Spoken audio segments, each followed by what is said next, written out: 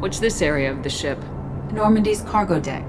It includes facilities to rearm and repair Normandy's embarked ground vehicle and shuttle. My last ship didn't need a shuttle. Why do we have one? This ship is nearly twice the mass of the previous Normandy. It is more difficult to land the ship on high-gravity worlds.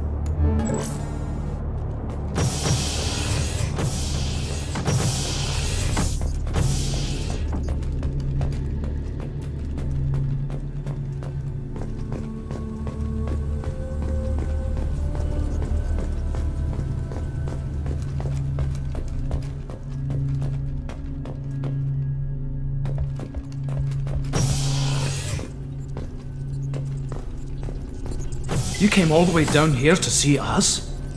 You're speaking to our commanding officer. I'm touring the ship, getting to know my crew. I'm Engineer Ken Donnelly, handling the power control systems. This is Gabby. That's Engineer Gabriella Daniels, actually. I'm responsible for the propulsion systems. What can we do for you, Commander? Are you set up okay down here? We can't complain. I just wish it didn't take so long to calibrate the FBA arrays. The... Kenneth, you're complaining. What kind of problems are you having? When they upgraded the Normandy design, they got a bit sloppy with the FBA couplings. I won't bore you with the tech, but there's an array of attenuators in the primary power transfer system that channels the field bleed. Kenneth, you're boring the commander with tech. In short, if we had T6 FBA couplings installed, it'd save us a lot of maintenance time each day. Why isn't something like that already installed? It's probably just a design oversight. Efficiency isn't affected, it's a maintenance issue. Also, the T6 model can be hard to find. Nash and Stellar Dynamics discontinued them. We could probably find used ones in the Omega markets, but we have no time for shore leave. Where'd you receive your training? Both Gabby and I started in the Alliance, serving on the SSV Perugia. She flew in the first wave at the Battle of the Citadel. We saw Sovereign firsthand. Are you set up okay down here? Outside of those T6, I bet you anything else? Both Gabby She and I. flew in the first wave. Why did you leave the Perugia? After you died, Anderson lost political clout. The Council backslid on the Reaper menace, They discounted Sovereign as an isolated threat, as a single. which was bullshit. They said your warnings of a greater danger were mistaken or delusional. We lost respect for Alliance leadership. We need to fight the real enemy, and only Cerberus seemed to be doing that. How did you wind up with Cerberus, Ken?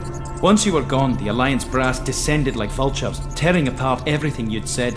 I was very public with my defense for you. I didn't hold back. That's an understatement. If Kenneth wasn't such a talented engineer, they'd have court martialed him for insubordination.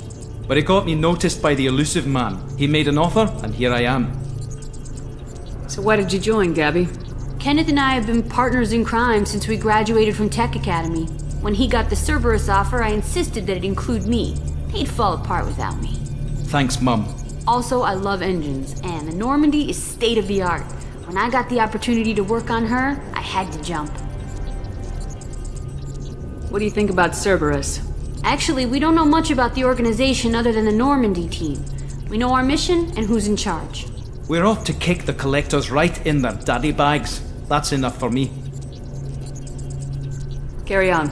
Will do, Commander. I'm amazed Shepard came down to see us. I told you she would. What's this area of the ship?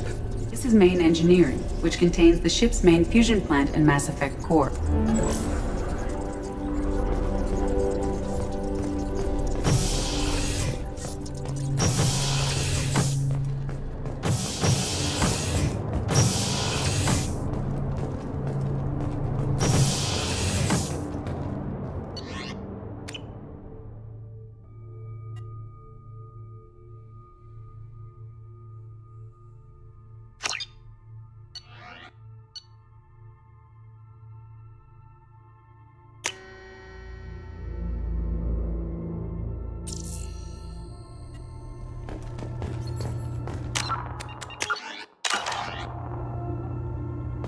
Commander, you've received a new message at your private terminal.